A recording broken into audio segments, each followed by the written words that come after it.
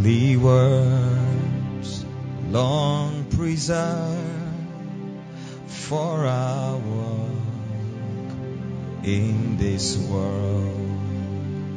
They resound with God's own heart. Oh, let the ancient words impart words of life, words of hope. Give us strength, help us cope in this world where we roam. Oh, let the ancient words impart. Ancient words, ever true,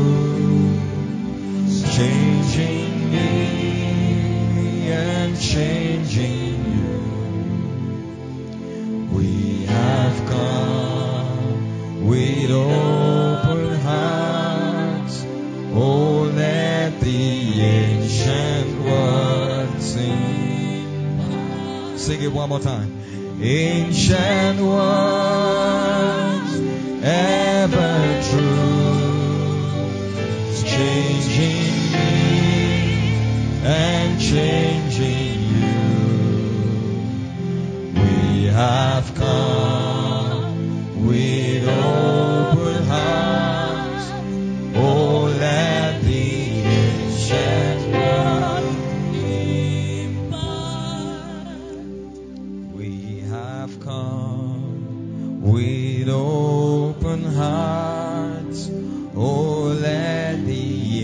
ancient words sing.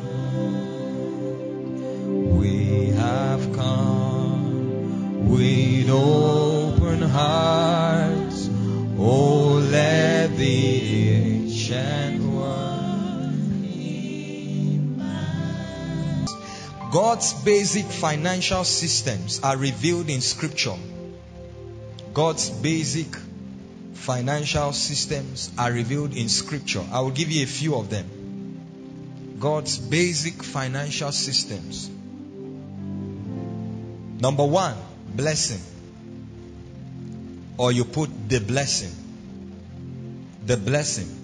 What is the blessing? The blessing is a spiritual empowerment to prosper a spiritual empowerment to succeed.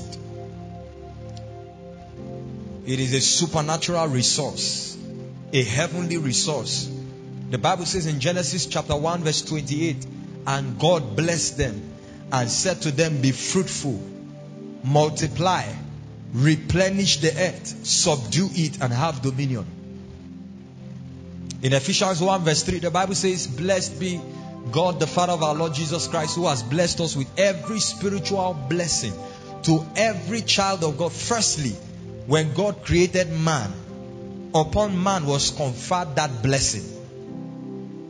And for every child of God in the kingdom, the blessing is our heritage, our heritage in Christ Jesus.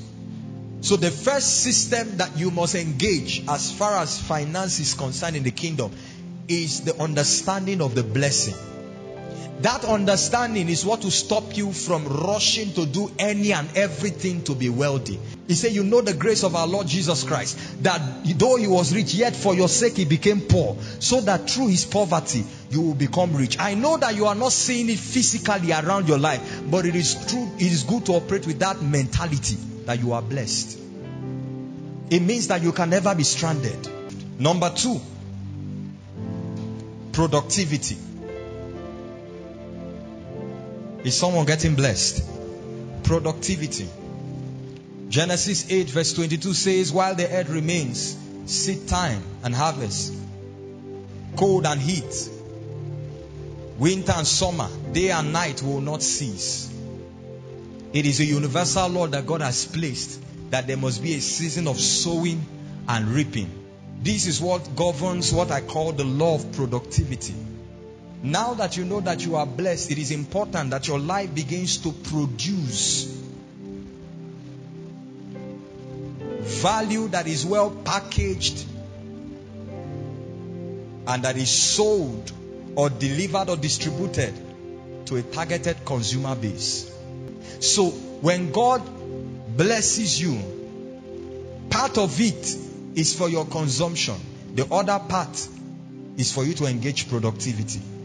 That you are able to invest it. That you are able to trade with it.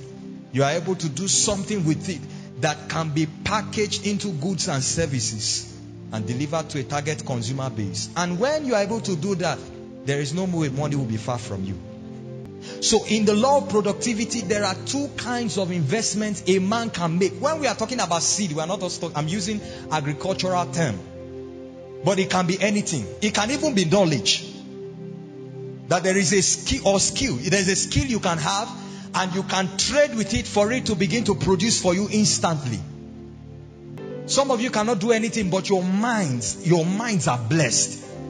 You in, in 30 minutes you can cook up great business ideas.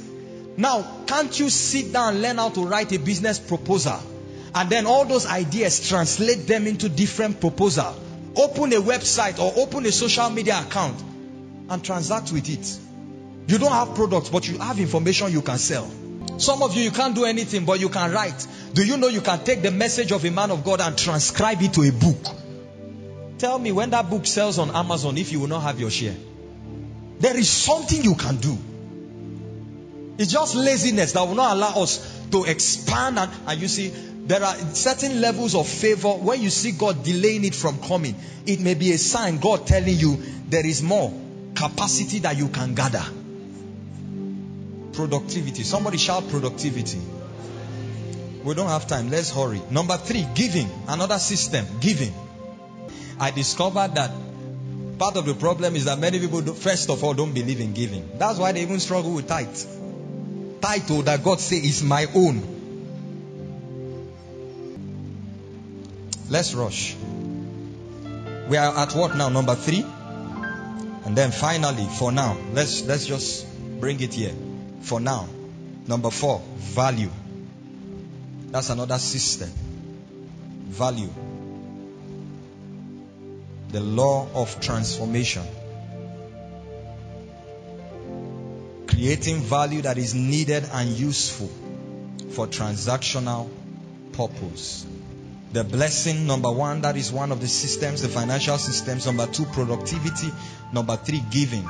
Number four, value. Creating value that is useful for transactional purpose. And then number five, dominion. We'll explain dominion another day. I want us to finish quickly now so we can pray.